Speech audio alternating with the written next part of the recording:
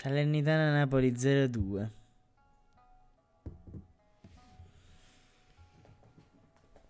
Che ne pensi? Madonna santissima, ragazzi, ma che vittoria! Posso dire che questa è forse una delle vittorie che più mi dà gusto. Cioè, sembra strano che lo so, uno dice ah, come la vittoria con la Juventus, la vittoria con il Milan. Però queste vittorie dovete sapere che io da napoletano non le ho mai vissute. Cioè, per me queste partite sono sempre state proprio la trappola per eccellenza, cioè quella partita dove i giocatori non ci mettono il massimo e quindi portano a casa una bella inculata precisa e puntuale nel giusto posto dove più ti dà fastidio. E invece stasera noi abbiamo fatto quella tipica partita che sapete chi vi faceva fino a tre anni fa? La Juventus. Cioè una partita brutta, ma non perché, brutta. Ma perché fino a tre anni fa, scusa? Ah, vabbè, nel senso che cioè, fino a tre anni fa, anni fa no, dico, la costanza con cui questa cosa succedeva. Cioè. Cioè, pure oggi la Juventus vince così, però almeno non ci vince gli scudetti. Ah, così, okay. ecco qua. Ah, okay. Eh, perché cioè, la partita non è stata brutta da parte del Napoli, è stata brutta in generale, è stata una partita in cui noi abbiamo cercato di affondare il colpo senza prenderci troppi rischi e dall'altra parte avevamo una squadra che non giocava col 4-5-1 come è nominalmente scritto, ma giocava con l'8 mm. davanti sì. e tutti gli altri che magari cercavano di fare un po' di pressing a centrocampo. E Napoli questa partita oggettivamente l'ha portata a casa col minimo sforzo e nonostante questo minimo sforzo siamo anche riusciti a portare a casa un clean sheet che sembrava essere stato pericolosamente messo in discussione da una stronzata finale. Ma evidentemente la squadra voleva anche far, far fare qualcosa a Meret, che avranno detto, oh, eh, Meret non ha fatto un cazzo, inventiamoci un errore, facciamo giocare pure lui. E infatti... Vabbè, la... Cioè, che hai da dire dopo una vittoria del genere? Alla la, fin fine. la grande differenza tra le vittorie che faceva, che ha sempre fatto la Juventus, ciniche, la conquista è che di solito la Juventus si fa dominare dall'avversario e poi con pochi tiri se la porta a casa. Invece qua sei, hai sempre dominato, solo che non sei riuscito a tirare spessissimo, semplicemente perché l'avversario si, ti, non ti dà proprio le possibilità di trovare un accenno di, di spazio per poter fare le proprie giocate. E qui in queste partite qua a fare la differenza devono essere i singoli. Quindi l'uno contro uno, oppure delle soluzioni da fuori, delle palle messe in mezzo, calci piazzati. Così si risolvono queste partite qua, dove l'avversario decide di non giocare e di non far giocare l'avversario. E riallacciandomi appunto a quello che dici tu, secondo me eh, una delle, delle, delle più grandi come posso dire, uno dei più grandi ostacoli di questa partita è stata la mancanza di Kvaratskhelia.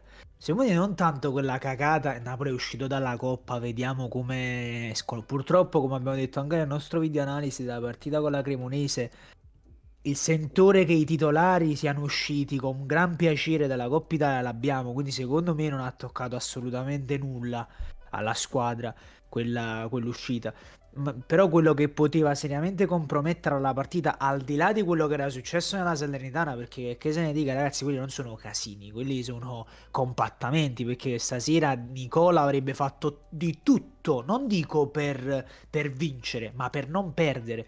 E quando tu dall'altra parte hai una squadra che è disposta a far tutto pur di non perdere, e molto spesso lo 0-0 è quel risultato che, che, avviene più spesso perché voglio dire è quasi ob- obbligatorio. Tu c'è una squadra che non gioca per giocare, ma gioca per non farti segnare.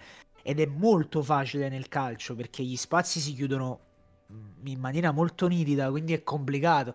E quindi non avere un giocatore come Kvaratskhelia che ne supera 3 con un semplice gesto tecnico era praticamente il, il più grande impasse sulla partita.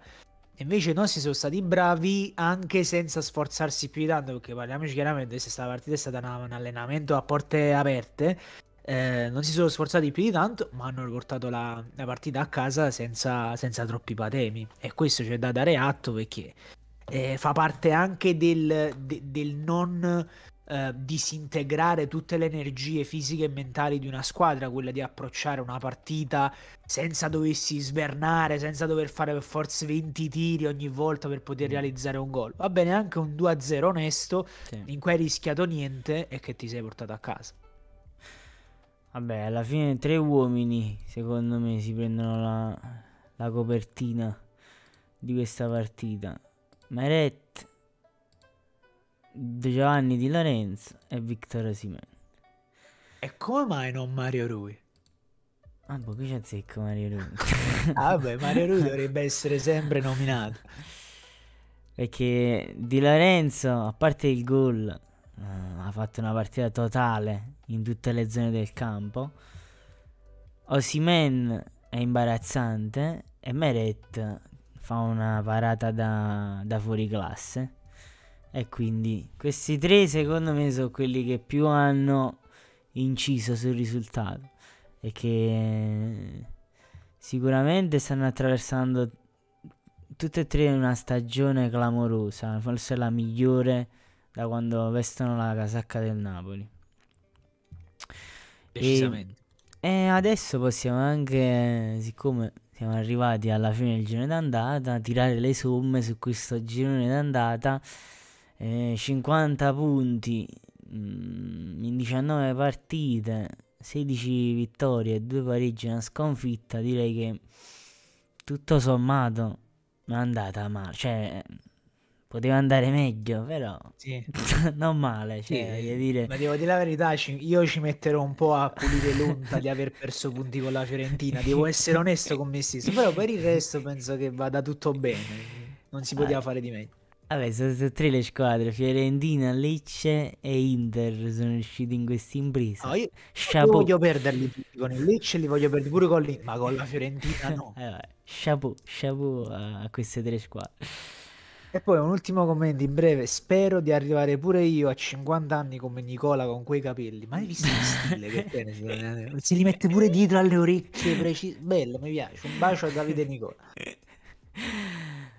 Vabbè, ma da adesso in poi le cose iniziano a diventare serie. Perché, cioè, secondo me, finché non arrivi a questo momento qui, ci sa che uno dice: uh, Vabbè, il campionato è lungo dobbiamo pensare partita dopo partita, non ci dobbiamo pensare.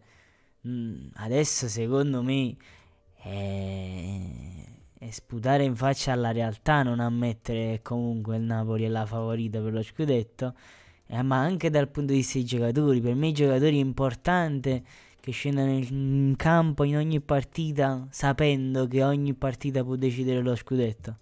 Cioè ormai dobbiamo rendercene conto non possiamo più sottovalutare noi stessi e sopravvalutare gli altri. Gli altri purtroppo non stanno tenendo il passo. Noi stiamo andando a una velocità che non esiste e dobbiamo rendercene conto, punto e basta. Sì.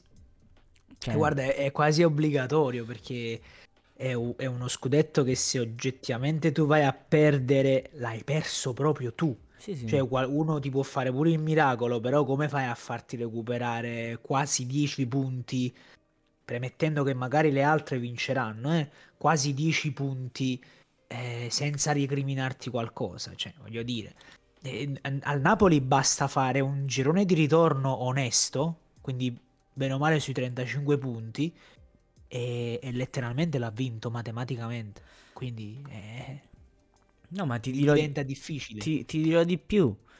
Un, eh, seppur il Napoli si dovesse, cioè mettiamo il caso il Napoli non fa un girone di ritorno all'altezza di questi 50 punti, ok? Per far perdere lo scudetto al Napoli, una di queste tre squadre, cioè anzi facciamo queste due perché ormai conterei soltanto Milan e Inter. Una di queste due squadre deve fare almeno 50 punti nel ritorno. Se non fanno 50 punti non possono raggiungere il Napoli. è così. Cioè, se Milan e Inter fanno 50 punti nel girone di ritorno, allora se ne può parlare. Perché ragazzi, se il Milan e l'Inter uh, ri- si riconfermano a questa media qui, quindi intorno ai 40 punti, ma massimo a 80 punti possono arrivare. Cioè il Napoli per arrivare a 80 punti partendo da 50 punti gli basta fare... Uh, 30 punti praticamente. Mm. cioè, c'è una bella differenza. Cioè, quindi molto, molto difficilmente si riaprirà questo campionato per quanto mi riguarda. E dei diciamo giocatori... 10 partite a pensarci bene. Sì, 10 partite da vincere e arrivi ad aver fatto quei punti. ma sì, cioè tra 30 punti siamo ad 80. Cioè 30 punti con questa velocità può essere che li raggiungi con parecchie giornate d'anticipo. Cioè c'è troppo vantaggio per nascondere la testa, secondo me. Cioè uno se ne deve rendere conto. Cioè pure sentendo le interviste dopo, le- dopo la gara, ok, vogliamo rimanere con i piedi per terra. Però cioè, a un certo punto un giocatore deve rendersi conto di quello che sta facendo e deve cavalcare proprio questa cosa. Infatti, Cioè- da questo punto di vista è stata più convincente l'intervista che ha fatto Meret rispetto a quella che ha fatto Spalletti, perché almeno Meret ha ammesso che la squadra guarda la classifica semplicemente perché è inevitabile guardarla, nel senso che quando ti accorgi di avere tutti quei punti di vantaggio, tutta quella differenza di di vantaggio, come fai a non dire ok, è tutto in mano mia? Sì. Poi senza considerare che nel ritorno c'hai tutti gli scontri diretti in casa, tranne contro la Juventus, che tanto ormai è fuori da- dai giochi. cioè... E quindi non è neanche più una rivale. Mai stata, vabbè, questa è una piccola Negli effetti, parentesi. Vabbè, Sì, ma il ragazzi, Napoli è troppo dominatore del campionato per, Sì. per potersi togliere dal discorso. Il Napoli deve ragionare quest'anno almeno in, in generale come, come la regina del campionato. Non, non può ragionare da, da squadra che se riesce allora fa. Cioè ti trovi in una condizione dove guarda che noi abbiamo il doppio, anzi più del doppio della differenza reti del Milan. sì, sì. Secondo, abbiamo lo scontro diretto con loro a favore. Cioè, come No, fai? Se per esempio io- arrivassero a uguali punti, comunque perderebbero loro. Ma- Quindi veramente c'è un vantaggio troppo grande. Ma arrivato a questo punto io non voglio sentire la frase eh però noi non, lo- non siamo partiti con questo, con questo obiettivo. No, ormai l'obiettivo è questo. Cioè ormai il campo ha parlato e tu quello che pensavi prima della stagione non è importante.